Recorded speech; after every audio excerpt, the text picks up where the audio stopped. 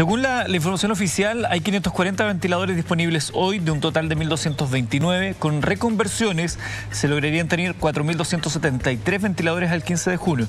Yo no sé si ese, ese número incluirá los ventiladores que dicen que van a llegar y todo. Me, entiendo, que, entiendo que es la totalidad. La pregunta que, que planteo yo es, ¿la solución está en tener tantos ventiladores necesarios y está el personal humano disponible, doctor Mesa a lo mejor me puede ayudar, el personal humano disponible para eh, manejar esos ventiladores. Podríamos tener un ventilador cada uno, pero si, no, si no vamos a tener el personal necesario que sacamos con.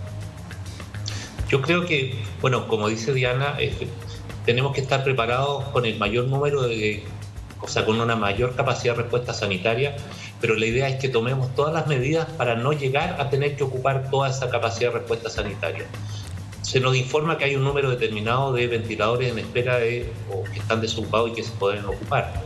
Eso es verdad y lo importante que, y eso nosotros le solicitamos a la autoridad sanitaria, que los mensajes que transmita, sobre todo a los equipos de salud, a los equipos clínicos y a la comunidad, sean claros y categóricos y que se anuncie lo que se esté en condiciones de cumplir.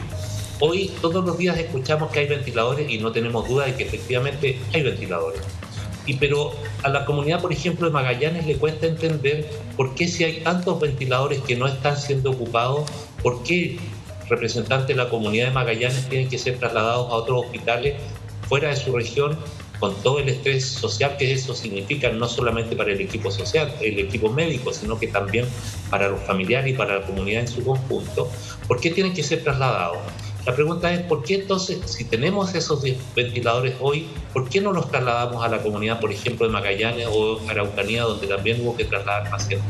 Yo creo que esa es una primera etapa importante de redistribuir ya en la medida que contemos con el personal adecuado. Ahora, sin duda que el recurso humano está muy tensionado, sobre todo en algunas regiones, como es Araucanía y como es Magallanes, donde estamos trabajando o coordinándonos con distintas instancias, la Sociedad Médica de Santiago, el Colegio de Enfermeras, el Hospital Clínico de la Universidad de Chile, en busca de personal, de profesionales especializados en manejo de pacientes de unidades de cuidado intensivo para que puedan acudir a colaborar específicamente en Magallanes.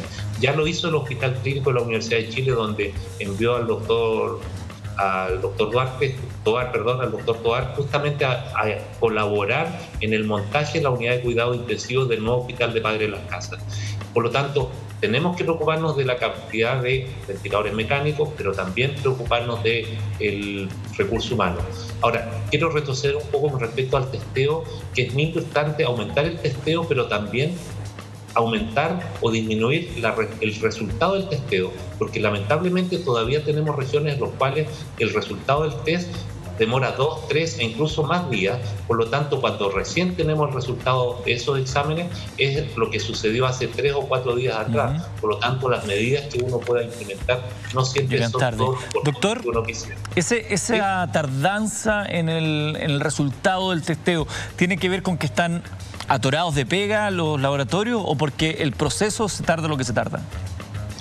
No, es más que nada porque se ve superada la capacidad de testeo en una región en particular y muchas veces hay que recurrir a otras regiones, enviar a Santiago los test para que sean elaborados por alguno de los centros que lo están desarrollando para nuestro... En un mundo ideal, ¿cuánto se demoraría ese, ese examen?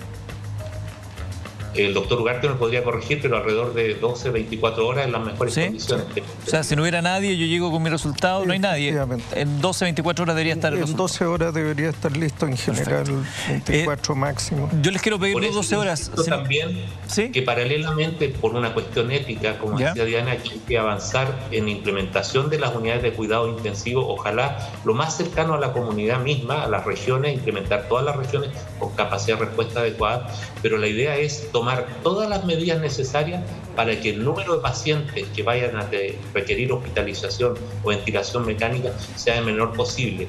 Y los que lo vayan a requerir, ojalá no sean todos juntos, sino lo más distanciados en el tiempo, porque, como se decía previamente, ya se están buscando tratamientos, se están buscando alternativas, se están probando vacunas, por lo tanto la idea es que no enfermarnos todos hoy, de tal modo que si nos enfermamos con el tiempo, lograremos dos cosas. Uno, no agotar la capacidad de respuesta sanitaria y dos, la posibilidad de que aparezcan algunas terapias efectivas en contra del virus o vacunas que lo prevengan.